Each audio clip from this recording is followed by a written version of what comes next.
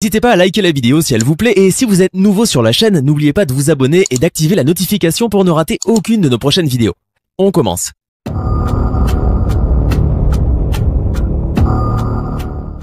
qui m'a donné un amen.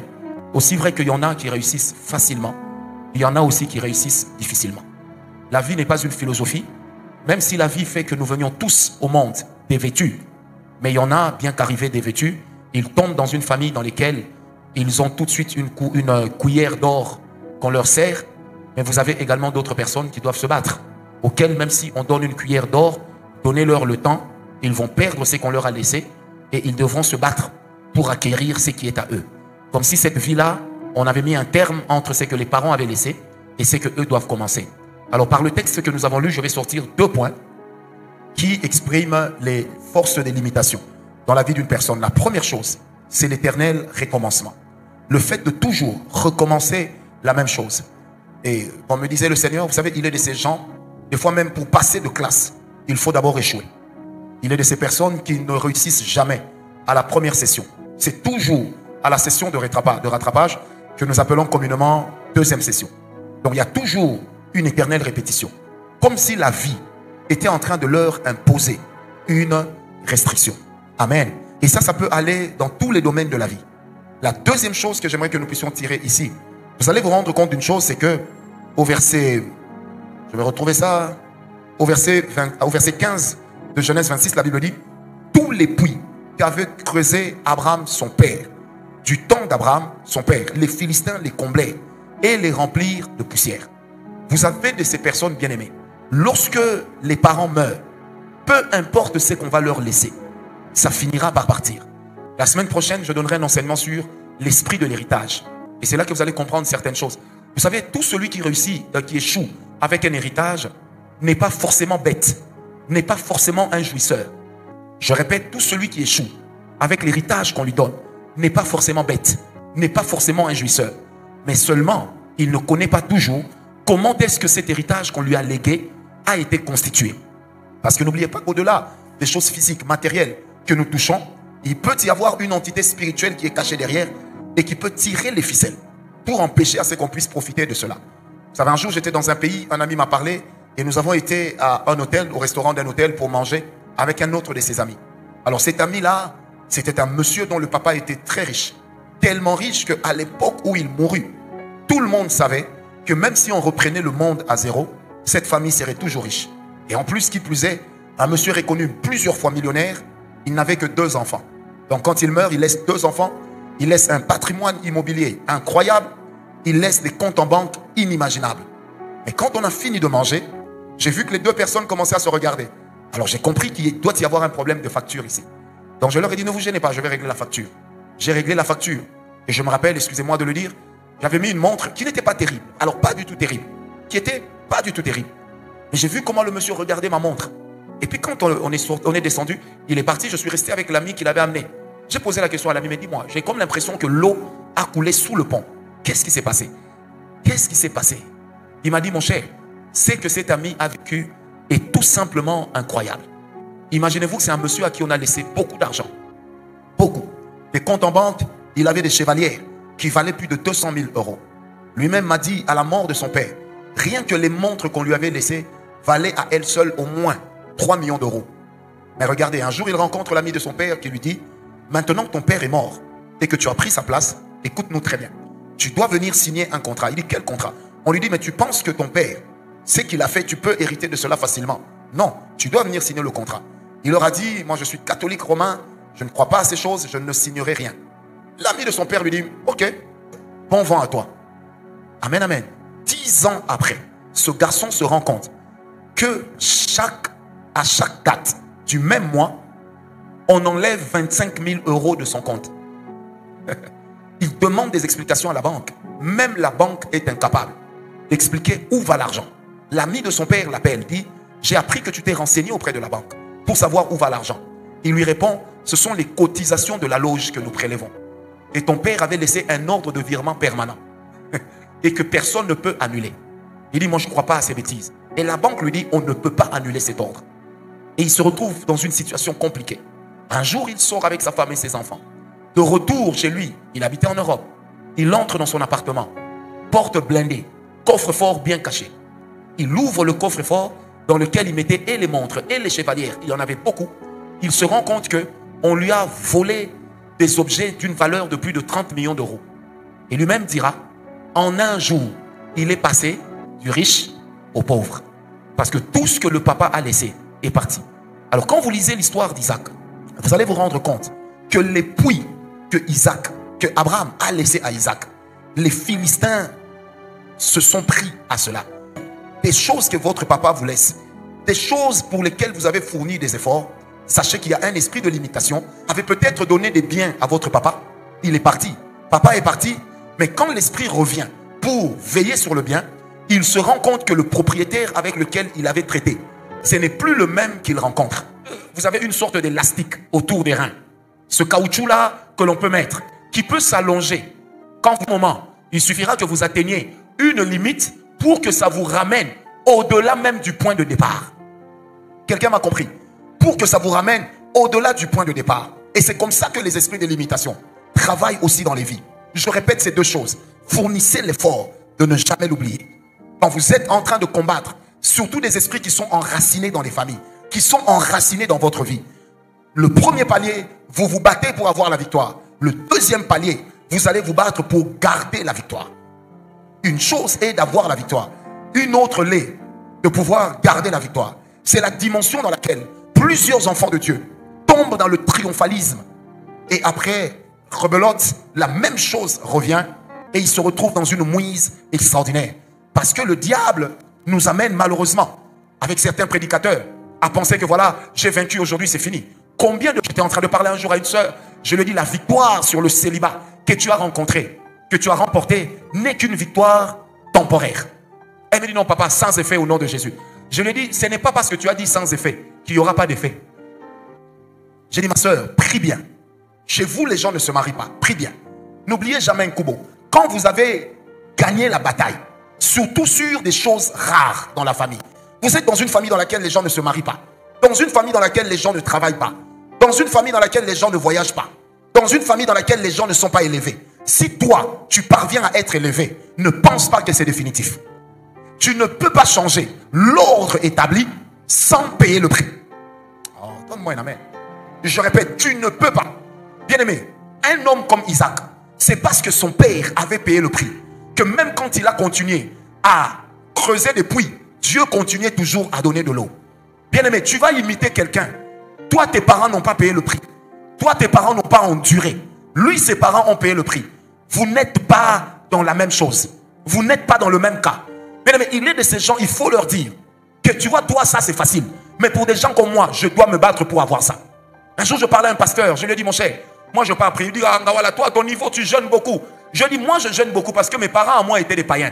Toi, ton père était un pasteur. Il a sémé des prières. Il a sémé des offrandes. Il a fait beaucoup de choses. Je dis, moi, mes parents n'ont pas fait ça. Donc, je suis en train de faire ça pour que mes enfants ne puissent pas souffrir de la même manière que moi. Bien aimé, ne prenez jamais le privilège de quelqu'un d'autre pour le vôtre. Ne le prenez pas pour le vôtre. Il y a des gens bien aimés comme nous autres, comme ça. Je n'ai pas honte de le dire. On a dû se battre pour arriver là où on est. Personne ne t'a aidé. Personne. Tu regardes les aînés. Personne ne te, tend la main. Personne.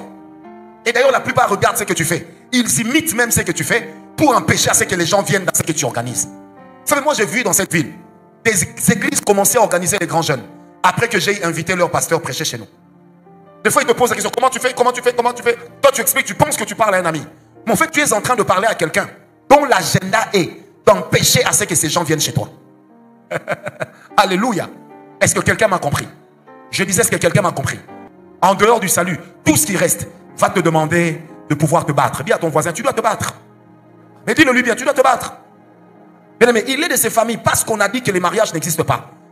Le monsieur pendant les fiançailles, je dirais même clairement, il t'adore. Mais une fois qu'il te met à la maison, il te garde comme, une vieille, comme un vieux véhicule. C'est-à-dire, il regarde même plus à toi. Il t'a il t'allonge les enfants comme ça, comme si c'était du presse-papier. Et quand il a fini, il te garde. Et vous allez rencontrer des mamans qui vous diront, et votre papa ici quand on était jeune, la manière dont il était attentionné. Où est partie l'attention? Parce que nous avons des personnes bien aimées, mariées, mais célibataires dans le mariage. On ne les regarde même pas. Mariées, célibataires dans le mariage. Tu regardes la jeune fille. Tu te dis, mais comment on peut vivre avec une si jolie femme et ne pas avoir envie d'aller avec elle? Est-ce que quelqu'un m'a compris? Mais lui-même, le monsieur qui l'a épousé, n'éprouve aucune envie de pouvoir toucher cette femme. Ou peut-être cette femme n'éprouve aucune envie de pouvoir avoir des relations avec son mari. Pourquoi? Parce que ils ont remporté une victoire, mais ils n'ont pas fait ce qu'il fallait. C'est pourquoi, bien aimé dans le Seigneur, ne l'oubliez jamais. Là où on n'a pas payé le prix, on ne peut pas réclamer définitivement une victoire. Un esprit de limitation. Ce sont les mêmes combats qui reviennent à la même période. Vous avez de ces personnes? Qui savent que chaque mois de février, on perd quelqu'un dans la famille. Chaque mois d'août, on a tel tel souci. Chaque mois de janvier. Bien aimé, c'est pourquoi une personne qui grandit doit apprendre à tenir un agenda. Pas seulement l'agenda des rendez-vous, mais aussi l'agenda de ce qui se déroule dans sa vie. Et vous serez étonné de vous rendre compte que certaines choses reviennent toujours à la même période.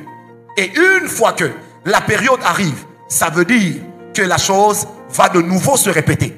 Même si vous êtes dans une affaire, vous avez de ces gens bien-aimés qui font toujours le même rêve. Je reviendrai sur les rêves plus tard. Ils savent, ces personnes savent, elles savent que dès que j'ai fait ce rêve, peu importe l'affaire dans laquelle je me trouve, ça veut déjà dire que ça ne marchera pas. Moi, j'ai rencontré des gens qui me disent, prophète, avec le rêve que j'ai fait, ou la sensation que j'éprouve, je, connais déjà l'issue.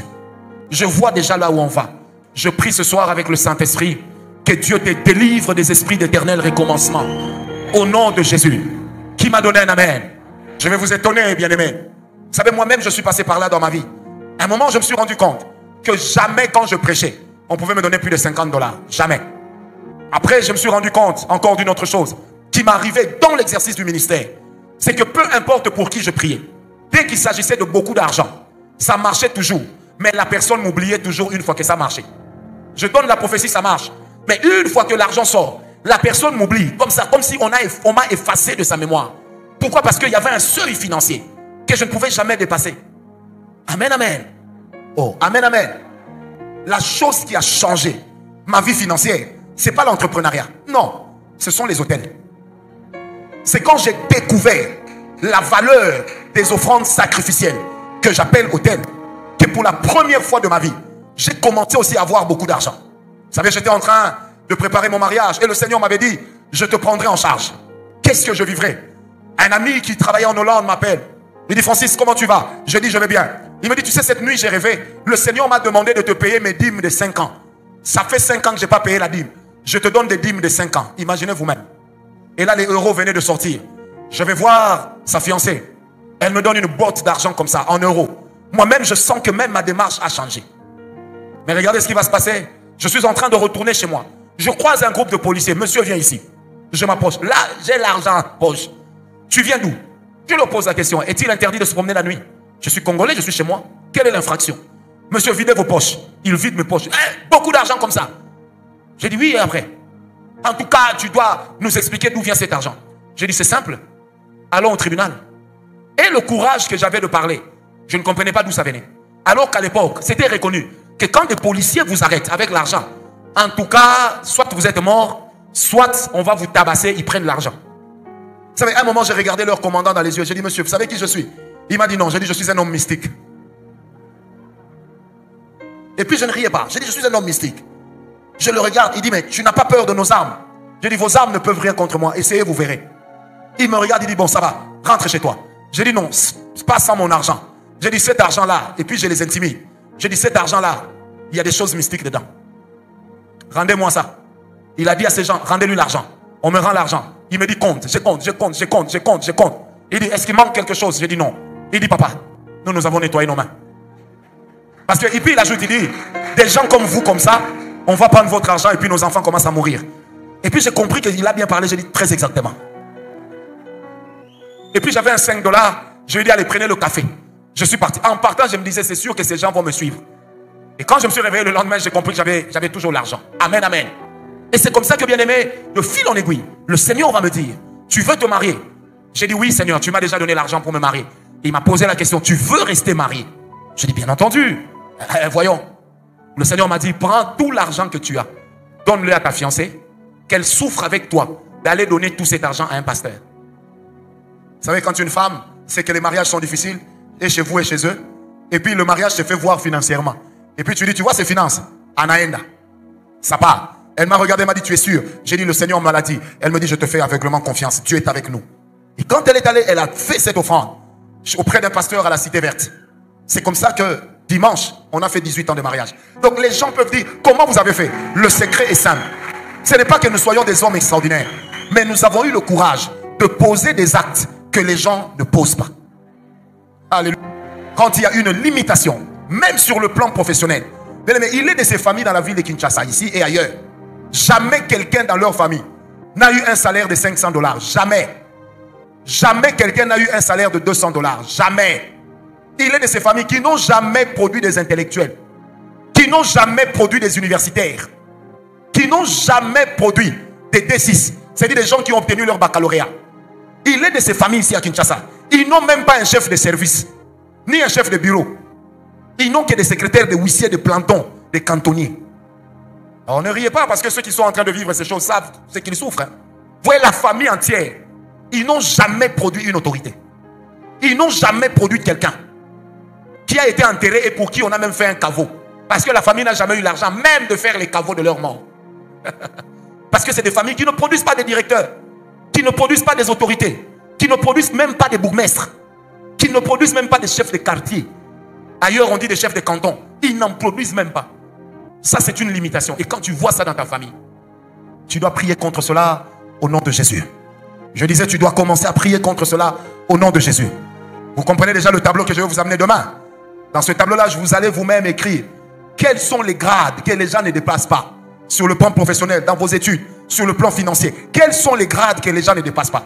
Sur le plan du mariage Combien de temps les gens mariés de votre famille durent? Soit dans le mariage, soit dans la vie. Combien de quelle est la longévité des mariages dans votre famille? Vous devez être capable d'écrire cela. Vous devez être capable de faire une cure d'âme personnelle. Amen, amen. Une autre chose, quantième point, septième point, je vous ai parlé hier pendant que j'étais en train de clôturer. Il est de ces gens, les limitations se manifestent par les mauvaises odeurs. Bien aimé, les mauvaises odeurs, quelquefois, expriment la sorcellerie, expriment aussi l'envoûtement. Je vous ai raconté hier que j'ai rencontré une fille en Belgique, euh, en Suisse, jolie comme tout, mais l'odeur qu'elle dégageait. Donc c'est comme si le cadavre de quelqu'un était en elle et qu'elle s'était frottée dedans avant de venir me rencontrer. Vous savez, nous avons prié à l'époque pour une femme. Une histoire vraie. cette femme, je lui ai donné une prophétie. J'ai dit, madame, avant 50 ans révolus, tu vas te marier. À 49 ans, un pasteur vient le voir, la voir lui dire, maman, j'étais dans l'avion, j'avais un monsieur à côté de moi, on a sympathisé. Et il m'a dit qu'il a perdu sa femme, il a 54 ans, il cherche à se marier, et nanani nanana. Et, et il dit, bizarrement, j'ai pensé à toi. Je lui ai parlé de toi, et j'avais une photo avec toi dans mon téléphone. Je lui ai montré la photo. Tout de suite, le monsieur a dit, moi, je dois épouser cette femme. Et je vous assure, cette dame était très jolie. Bien aimé. Quatre mois après, le monsieur envoie sa famille dotée. Moi présent. La famille dote. Tout se passe bien. Et puis le monsieur, aïe, aïe, voilà. C'est moi, si quelqu'un me dit que le combat spirituel n'existe pas, je vais le gifler. Moi, je ne donnerai jamais la chair à un pasteur ici qui va prêcher contre le combat spirituel. C'est pas parce que toi, tu ne vis pas les combats que ça n'existe pas. Hein. Cette femme, deux semaines après, d'autres organisés, tout, on loue une belle salle à Gombe ici. Une très belle salle. Juste là où Robank a créé son QG. À côté, c'était un restaurant libanais. On loue là-bas. C'était, nous tous, on était sur notre 31. Et on savait que voilà, le mariage aura lieu le samedi, le monsieur va arriver le vendredi. La femme tenait une alimentation. Donc là, elle vendait des produits, des défrisants et tout. Jamais quelqu'un ne s'est plaint. Elle a pris un défrisant dans les rayons de son propre magasin. Le jour, je vous dis. Elle a pris le défrisant. Le jour où l'homme est censé arriver, elle va se laver la tête. Elle défrise les cheveux. Je ne peux pas citer le nom du défrisant. Mais c'est le défrisant, l'un des défrisants les plus vendus jusqu'à aujourd'hui. Elle met sur sa tête et tout. Comment elle voit que, comme on dit, les femmes disent, hein, ce qui est kalingami. Elle prend le correspondant de cela pour appliquer, je ne sais pas moi comment on appelle ça, la pommade qui doit venir après le nettoyage. Frère, soeur, elle va comme ça au lavabo. Quand elle fait passer l'eau, les cheveux partent. Kovo Capita Wendy. On ne riez pas. Elle a une tête chauve. Même pas un duvet. Elle s'est mise à pleurer. Elle a pleuré à chaudes larmes. Nous sommes venus avec son pasteur. Quoi faire? À l'époque, il y avait... Euh, comment vous appelez ça? Euh, Allez, euh, il y avait une perruque comme ça qui était sortie dans un clip là. Hein? Vous vous rappelez? La perruque là. Nous sommes allés au Grand Hôtel. On a acheté cette perruque, 300 dollars. Elle a mis ça. On arrive à l'aéroport. Dans l'entretien, nous avions improvisé une journée de jeûne pour elle. On arrive à l'aéroport, le monsieur débarque et tout. Donc tout de suite, ah, c'est toi ma chérie, c'est toi ma chérie. Le pasteur et moi, on s'est dit, hey, ya, ya. quand il va découvrir qu'il épouse Baba Touli Tralala, comment ça va se passer? Frère, un moment, le pasteur a pris son courage à bras le corps. Il dit, frère, j'aimerais te parler. Le frère vient à côté, il dit, non, voilà, on a un petit souci. Il lui explique la scène. Vous savez, le monsieur reste calme. Il regarde le pasteur, il dit, non, c'est le diable. J'ai épousé une femme, je n'ai pas épousé des cheveux. Amen, amen. Amen, amen. Donc, une catastrophe naturelle.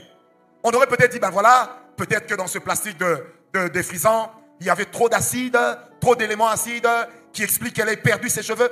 Mais pourtant, c'était des esprits impurs. Et j'ai jamais oublié, j'ai rarement vu un mariage aussi glorieux. J'ai fait le MC dans ce mariage-là. En pleine fête, on faisait des services. Les démons partaient. Et les démons parlaient pour dire, ce mariage ne devait pas avoir lieu. Comment vous avez fait pour que ce mariage ait lieu? Bien-aimé, c'est pourquoi, bien-aimé, ne préparez pas le mariage seulement en mettant de l'argent de côté. Préparez cela dans la prière. Préparez cela dans les offrandes. Préparez, je dis bien, préparez cela au nom de...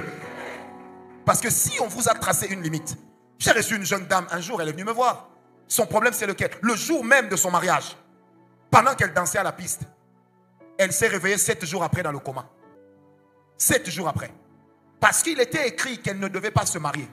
Elle avait une limitation. C'est-à-dire, elle, les gens peuvent l'aimer. Les fiancés peuvent se battre. Mais, jamais parler de mariage.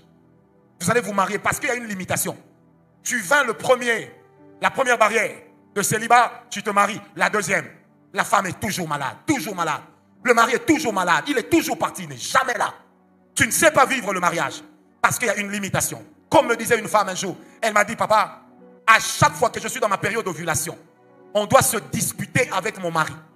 Et quand les jours de mon ovulation passent, on est ichou, ichou, tout va bien. J'ai dit, mais tu n'as pas encore compris qu'il y a une limitation que toi, tu ne peux pas donner à cet homme des enfants. Il faut bien prier. Amen, amen. Oh, amen, amen. Que Dieu vous bénisse. Une autre chose, bien aimé, qui montre que vous avez un esprit de limitation et un petit esprit de retard, c'est le fait de toujours arriver en retard dans les rendez-vous et de ne jamais exécuter à temps ce qu'on vous donne comme travail. C'est un puissant esprit de limitation que la plupart d'entre nous, Congolais et Africains, avons. Est-ce que vous êtes déjà rendu compte qu'ici au Congo, très peu de personnes respectent les heures de rendez-vous? Quand tu lui dis 14 heures, il ne comprend pas que 14 heures veut dire 1 4H00. Donc même quand il vient 14h48, il a le toupet de te dire, mais tu avais dit qu'à 14h. 14h48 s'appelle aussi 15h moins 12. Amen, amen. Et vous allez remarquer que nous sommes des champions pour arriver en retard. Une fois on était à la maison Schengen, il y a une dame qui arrive. Et puis elle se dispute avec les gars. Je dis, madame, qu'est-ce qui se passe? Elle me dit, parce que c'est une mentalité de limitation collectivement que nous avons. Les gens viennent en retard. Les autorités vont au travail en retard. La ville, tous les ministères se trouvent à Gombe. Mais vous allez vous retrouver à Delvaux à 11h. Vous attendez véhicule de l'État, essence de l'État. Tu viens d'où? Tu vas à où? Un jour, je suis dans mon véhicule et puis je... Ah, j'ai refusé. Moi-même, j'étais au volant. Cara. Toi-même, descends. Prends ça, mets de côté. Comme ça, je vais te voir. Ce temps, le ministre qui était derrière, il baisse un peu la vitre. J'ai dit non, je vais saquer le monsieur. J'ai dit, mais ça, c'est un ministre, ça De l'intérieur en plus? De l'époque, hein? Parce que dans notre pays, il faut être prudent. J'ai dit, ça, c'est un ministre, ça? Et il va au travail à 10 heures. Et puis j'ai crié. Et vous êtes étonné que le pays ne marche pas. Vous savez, le garde qui était devant me regarde, il fait ça. Est-ce que quelqu'un m'a compris? Un jour, je suis vers le Loupio. J'ai mes enfants dans la voiture. Et puis on met la musique, on est en train de rigoler. J'entends Premier ministre. Oh. Et puis les gardes me font ça. Il y avait la rigole. Non, j'ai baissé la vitre. J'ai dit donc que moi et mes enfants, on meurt pour un monsieur qui ne produit même rien pour le pays. Est-ce que quelqu'un m'a compris? Bien aimé, il y a des mentalités qui vous montrent que vous êtes sous un esprit de limitation. Les retards dans les rendez-vous. Les retards dans les travaux qu'on vous donne à faire. C'est comme ça que vous allez remarquer que dans les grands organismes internationaux, vous trouvez rarement les gens de chez nous. Rarement. Parce que nous avons une lassitude qui ne dit pas son nom. Nous sommes des attentistes.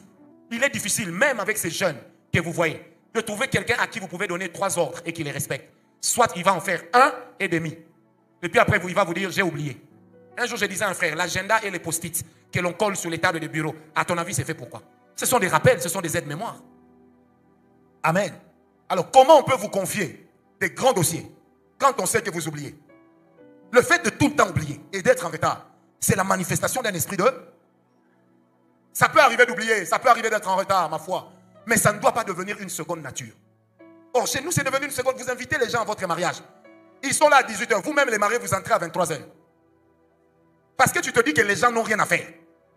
Et puis vous servez la nourriture à 1h30 du matin. Et vous avez toujours à dire, c'est pas nous, c'est le service traiteur. Mais c'est pas le service traiteur qui a invité les gens. Une autre chose qui montre qu'on a un esprit de limitation, c'est le fait d'être compétent, mais de n'être jamais sollicité. Et de ne jamais être payé à sa juste valeur. Je répète, vous êtes compétent, mais on ne vous sollicite pas. Et puis, deuxièmement, qu'est-ce qu'on fait? Même si on vous sollicite, on ne vous paye jamais à votre juste valeur. Des fois, des gens qui ont fait moins que vous, qui ont fourni moins d'efforts que vous, qui ont moins transpiré que vous, on les bénit plus que vous. Quand votre vie fait face à un tel cycle, sachez que vous êtes en train de livrer une bagarre extraordinaire contre un esprit de limitation. Est-ce que quelqu'un m'a compris? On sait que c'est toi le plus intelligent de la boîte. C'est toi qui accouches du meilleur travail. Mais c'est un autre que l'on plébiscite. Tout le monde sait que si on te donne le dossier, tu vas le réussir. Mais on ne te confie jamais le dossier. Et maman est là toujours en train de dire, hey, votre papa est intelligent. Amen, amen. Et vous avez des éternelles répétitions. Une autre chose qui montre qu'il y a un esprit de limitation, c'est lorsque quand vous avez l'argent, vous n'avez jamais la pensée. Or, lorsqu'on te compte une chose, à brouter tes finances. Alors, comme le diable sait que payer la dîme protège la récolte et la prochaine semence. Il t'aide juste à ne jamais avoir envie de payer la dîme. Des fois même tu payes la dîme, tu regrettes de l'avoir fait. Tu donnes l'offrande, tu regrettes de l'avoir fait. Tu n'as jamais la pensée de donner les offrandes. Bien aimé, nous ne payons pas la dîme parce que nous n'avons pas de besoins. Nous payons la dîme parce que nous avons mis Dieu à la première place. Et si tu veux savoir que tu payes vraiment bien la dîme avec un bon cœur, c'est quand le montant pour lequel tu dois payer la dîme est grand et que tu payes sans remords, là tu aimes Dieu. Or, il y a un engagement divin derrière la dîme derrière l'offrande. Il y a un engagement divin. Il y a quelque chose de divin derrière la dîme. Il y a quelque chose de divin derrière la dîme. Une dîme que l'on paye avec des murmures. Si vous êtes serviteur de Dieu et que vous apprenez l'histoire, ne n'acceptez pas cette dîme dans votre maison. Vous savez, un jour, quelqu'un m'a apporté une dîme. Et qu'est-ce que j'ai fait? J'ai prié avec ma femme. J'ai dit, cette dîme, c'est beaucoup d'argent. Mais je ne sens pas que ça doit entrer dans notre maison. Ma femme m'a dit, non, mais on a aussi des besoins. J'ai dit, non, chérie, je ne sens pas qu'on doit prendre ça. J'ai écrit une lettre aux anciens. Ils sont là, ils savent. Je leur ai dit, je ne prendrai pas cet argent. Je ne l'amènerai pas dans ma maison.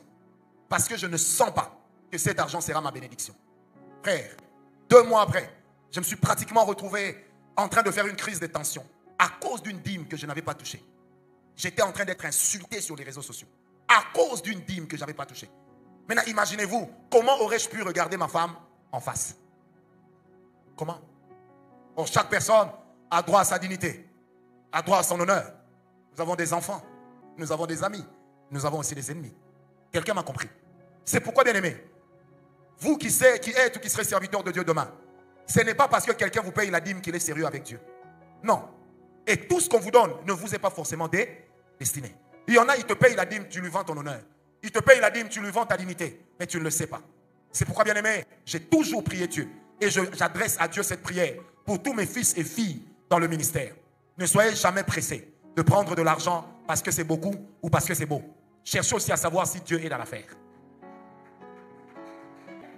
Une autre chose qui montre qu'il y a un esprit de limitation, c'est lorsque vous avez des enfants, vous-même, ou des membres de famille, qui ne tombent malades que quand il y a l'argent.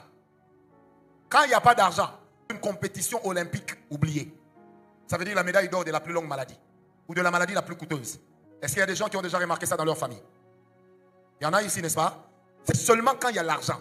Quand quatre ou bien ça, les enfants tombent malades. Quand un petit rien, un petit rien, un petit rien entre, les enfants alignent des maladies. Frère, j'ai connu ça dans ma vie. Je l'ai connu. Quand j'ai eu mon fils cadet, il a aligné des maladies. Il a aligné des maladies. Une fois, je l'hospitalise.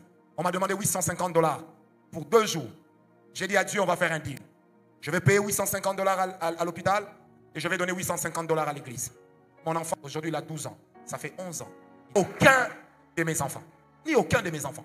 Parce que j'ai compris que certains combats, alors, il faut ramener ça de toi-même dans le domaine des transactions spirituelles. C'est-à-dire que la résurgence d'une même chose, amène ça sur la table, négocie. Dis à Dieu, je remarque que mes enfants tombent toujours malades. Je remarque que moi-même, je tombe toujours malade. Seigneur, on fait un deal. Le montant que je n'arrive pas à dépasser, je te le donne. Le salaire que je n'arrive pas à dépasser, je te le donne au moins une fois. Après, donne-moi toujours au-delà. Voilà pourquoi quand vous faites des sacrifices, vous devez savoir pourquoi vous le faites. Ah, donne-moi d'abord la main. Alléluia. Alléluia. Bien aimé, vous savez, moi dans ma vie, je m'étais rendu compte. Je travaille beaucoup, je prêche beaucoup. Il m'est arrivé de prêcher dans deux continents le même jour. Mais les conditions dans lesquelles je voyageais, et j'ai vu comment Dieu a commencé à faire les choses. Vous êtes sous le mandat d'un esprit de limitation. C'est quand vous observez que chez vous, dans votre famille, dans votre quartier, demain vous allez comprendre pourquoi j'insiste, dans votre vie, ou des maladies si divorcent au même âge, les gens souffrent de la même maladie. Ça veut dire que quelque part, il y a un esprit de limitation qui est en train de travailler. Et le but de l'esprit de limitation dans ce contexte-là, c'est quoi?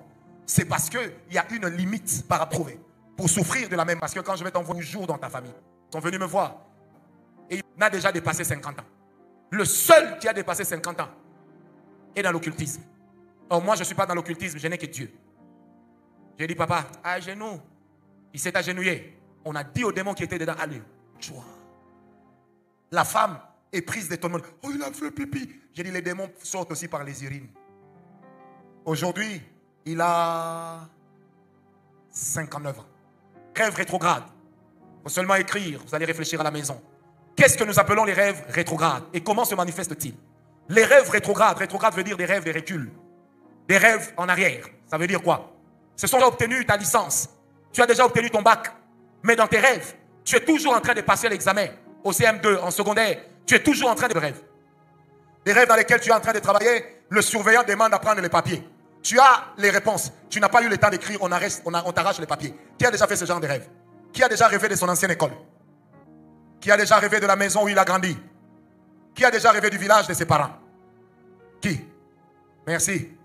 Ça veut dire que vous avez des rêves rétrogrades. Tu travailles dans tes rêves, ton père est toujours en train de t'envoyer puiser de l'eau. Pourquoi? Parce que tu as des rêves rétrogrades d'esclaves ou de servitude. Dans tes rêves, tu sers les autres. Tu accompagnes toujours les enfants d'autrui à l'école. Tu payes toujours. Ce sont des rêves rétrogrades qui disent simplement que dans ta vie, il y a un esprit de recul. Amen, amen.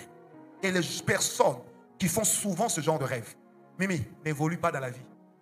Même s'il arrive quelque part, il va reculer. Et on a même des ministres de Dieu qui font souvent ce genre de rêve. Quand il rêve qu'il est dans une maison, c'est la maison des parents. Quand il rêve qu'il est dans une parcelle, c'est derrière la parcelle des parents.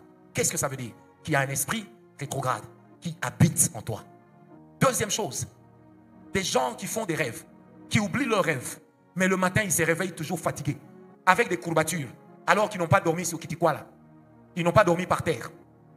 Mais ils se réveillent, ils ne se souviennent plus du rêve. Mais ils ont des courbatures.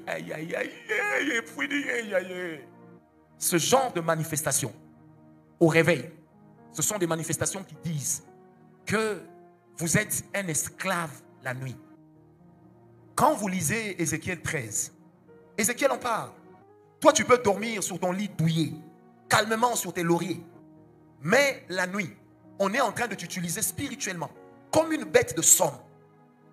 Madame Avunda, quelqu'un d'autre se plaint d'une maladie, quelques jours après, c'est comme ça commence à être toi qui commences à avoir la même maladie. Ça veut dire qu'il y a déjà eu un transfert. Ça veut dire qu'il y a déjà un esprit de limitation qui est en train de travailler. Bien on peut se réveiller fatigué une fois. On analyse comment a été la journée d'avant. Est-ce que je me suis reposé assez? Mais tu dois. Il travaille la nuit comme un esclave, comme une bête de somme qui m'a donné un amen bien. Troisième catégorie des rêves, ce sont des rêves dans lesquels vous perdez toujours des combats. Ou si vous tentez de prendre le dessus, le rêve s'arrête. Mais le rêve ne finit jamais sur votre victoire. Retenez-les, des rêves, des bagarres qui ne se terminent jamais sur votre victoire. Même quand tu prends le dessus, le rêve doit s'arrêter. Ça veut dire que quelque part, spirituellement, tu es combattu. Et tes victoires, tes opportunités sont en train d'être combattues et par conséquent sont en train de s'éloigner de toi. Qui m'a donné un amen. Tu rêves qu'on te vole ton porte-monnaie. Parce que le porte-monnaie, c'est là que nous rangeons l'argent. C'est là que nous rangeons nos cartes bancaires. Et quand dans les rêves, on te le vole, ça veut dire qu'on est en train de voler ta bénédiction financière. Lève la main droite, dis avec moi, on ne touchera pas à ma bénédiction financière. Au nom de Jésus. Dis-le bien avec moi, on ne touchera pas à ma bénédiction financière.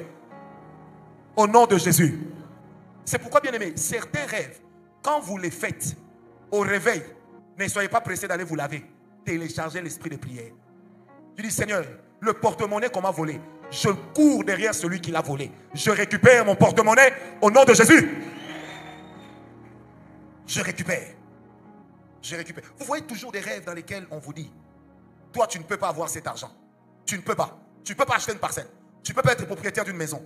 Tu ne peux pas voyager. Tu ne peux pas être bien dans la vie. Frère, moi, votre frère, j'ai déjà fait ce genre de rêve. Un jour, il y a un ami qui devait prêcher ici. La nuit, c'était la nuit de samedi à dimanche. Et puis je vois, on est en train de me remettre un gros paquet d'argent.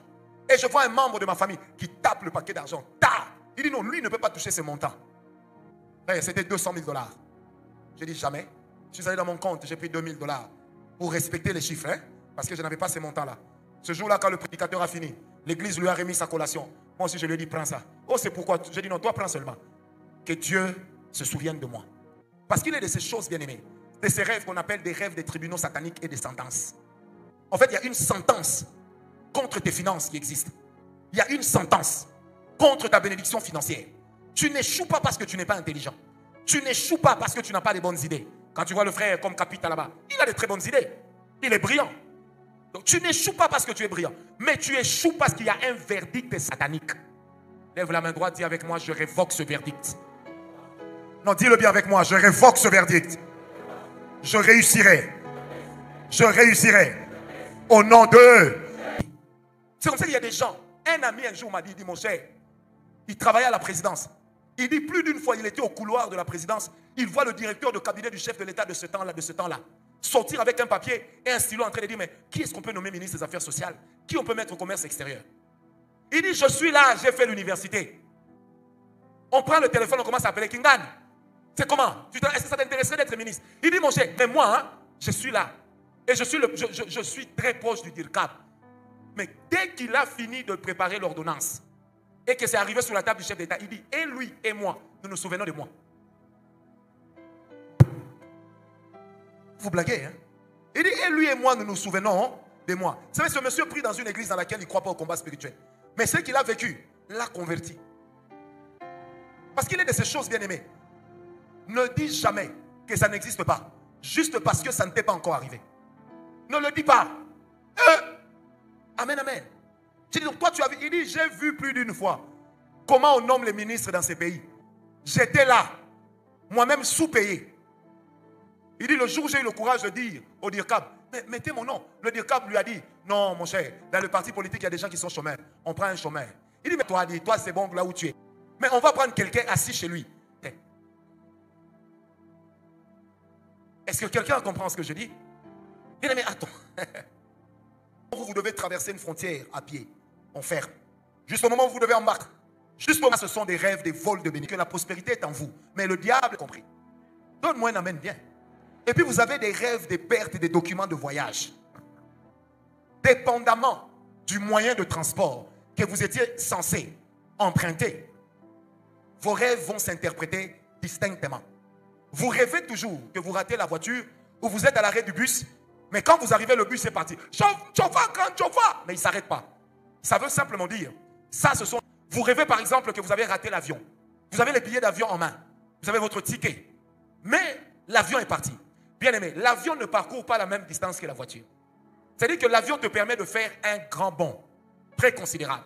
Tu peux quitter Kinshasa à 0 heure, si c'est ton jet et tout. Tu peux arriver à Paris à 6 heures. Mais si tu vas en voiture, depuis Kinshasa jusqu'à Paris, en passant par le détroit de Gibraltar ou le canal de Suez par là, ça peut te prendre plus de la destinée. C'est arrivé. Et très attention. Tu rêves que tu as ton ticket en main, mais le train est parti. Maintenant, regarde la nature du train. Si c'est un TGV, loin dans la vie, mais comme pour que quelque part lesquels tu rates un moyen de transport, ne néglige pas ça. Tu pries Seigneur, Oh Père, j'aimerais voyager. Donne-moi comme accorde le visa. Paf, tu rêves la nuit, on t'a volé ton passeport. Ça veut dire qu'il n'y a plus de visa. Tu vas seulement entendre non, ça. Et tu n'as pas travaillé contre cela. J'ai vu ce rêve concernant ma famille. J'ai rappelé à Dieu les hôtels que j'avais fait pour les voyages de ma famille. Et ce même jour-là, on leur a accordé le visa. Donnez-moi un amen. Dis à ton voisin, les hôtels, ça marche. Tu rêves des boas qui te suivent. Des boas qui te suivent. Des boas. Vous savez que les boas n'ont pas une morsure dangereuse. Non. Mais ils ont un corps dangereux. Parce que dès lors qu'ils s'enroulent autour de toi, ils s'étirent, ils te broient les côtes, ils jettent sur toi sa salive, ils t'avalent. Vous rêvez des boas. Ça veut dire que quelque part, il y a une limitation financière. Il y a une limitation. Et si vous êtes dans un projet, sachez que le projet ne va pas réussir. Des gens qui rêvent des excréments, du caca, ils rêvent. Vous voyez des gens qui rêvent, il est en train de faire popo en public. Il rêve, il fait popo. Une sœur me disait même qu'elle, elle a rêvé qu'on lui jetait les popos. Les rêves des excréments sont des rêves de vie médiocres. Ça veut dire que votre vie va porter une tâche, une empreinte de médiocrité. Vous risquerez d'avoir une vie médiocre. Être une personne médiocre. Médiocre ne veut pas dire pas intelligent. Tu es intelligent, mais tu es médiocre.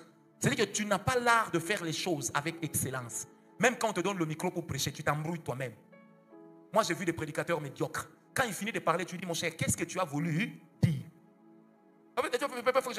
Oui, tu allais dire quoi? Il fallait même écrire ta prédication comme un journal télévisé. Soit, il y a des gens qui se voient toujours nus. Ils sont en train de se cacher pour ne pas qu'on voit leur nudité. Ils sont en train de, de vouloir s'esquiver pour ne pas que les gens découvrent leur nudité. Ce sont des rêves qui disent que votre vie est limitée. Lèvons-nous, nous allons prier. Donnez-moi seulement cinq minutes. Est-ce que vous êtes d'accord? Parce que même si tu n'es pas d'accord, il s'agit de ta vie. Hein. Si tu veux sortir, oh, tu peux partir. Cinq minutes pour régler notre problème, ce n'est pas assez. Nous allons prier. Chacun de nous va dire, va prier.